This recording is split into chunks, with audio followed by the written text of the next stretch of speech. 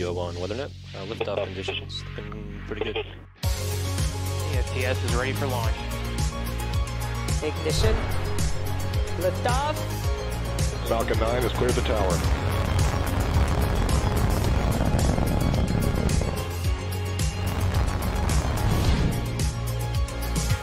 Ten, nine, eight, Side booster ignition. six, five, four, three, two, one.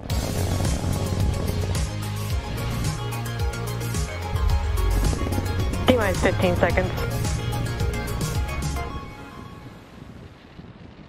10, 9, 8, 7, 6, 5, 4, 3, 2, 1, 0.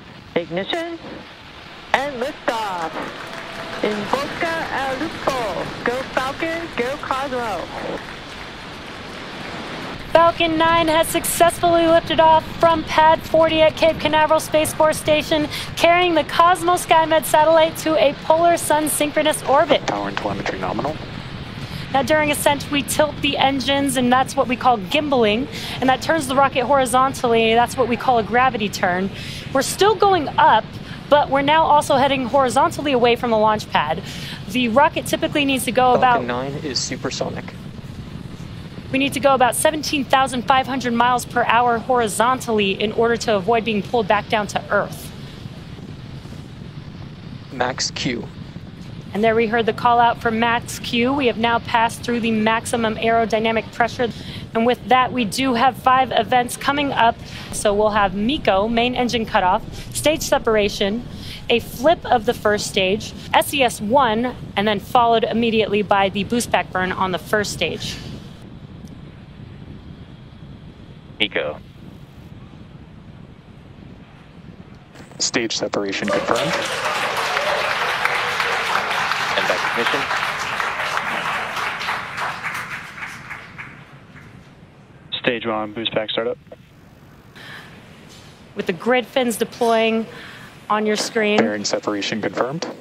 Now, what you're seeing on your screen on the left hand side is the first stage, uh, currently in its boost back burn. That is the first of three burns to make its way back to land.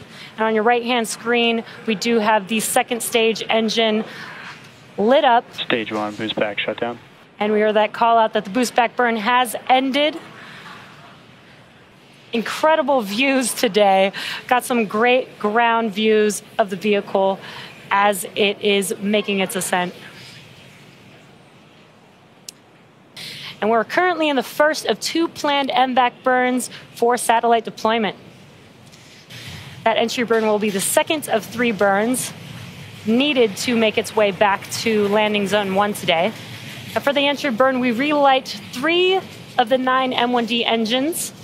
And that starts with the center E9 engine, followed by the E1 and E5 engines. And that helps to slow the vehicle down as it passes back into the Earth's atmosphere. And we need to slow the vehicle down to reduce. Both reduce vehicles continue to follow nominal trajectories. great call outs. Everything's looking nominal. And for that entry burn, we do need to slow down the, the vehicle uh, to reduce the re entry forces. Uh, that helps us to recover and reuse the first stage. And again, today we are attempting to land at landing zone one. This is back at land. Tico 1. We need three burns to get us there. We've already completed the boost back burn, and we're coming up on the entry burn here. And Stage one, entry burn startup. we heard the call out, and you can visually see on your screen that the entry burn has begun on the first stage. Again, this helps to slow the vehicle down as it re enters back into the Earth's atmosphere. It's only about a 20 second burn. Stage one, entry burn shutdown. We heard the call out that the entry burn has completed, and you can see that the engines have shut down on your left hand screen. In the background view of the first stage as it's making its way back to landing zone one, Stage one, landing burn. The landing burn, wow, incredible views of this landing burn of this first stage. See if we can touch down on landing zone one today. Stage one, landing like deployed. Stage one, landing. What an incredible sight to see. We have touchdown at landing zone one. Now the second stage now embarking on its first coast phase. So we'll see you back here in about 45 minutes. And in the meantime, enjoy the space tunes.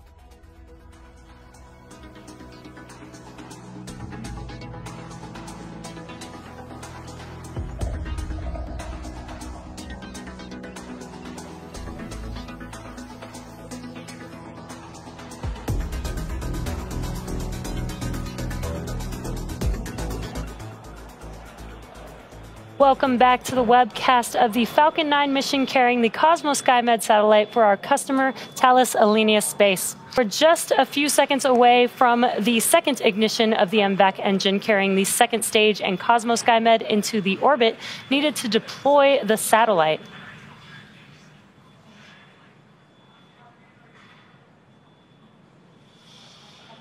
MVAC startup. And shutdown.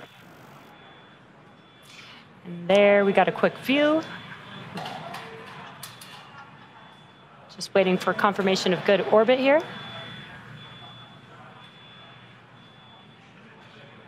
Nominal payload deploy orbit. And great news, we just had SES 2 and SECO 2. It was a quick three second burn. We also got confirmation of a good orbital insertion. The Cosmos SkyMed satellite is still attached to Falcon 9 second stage.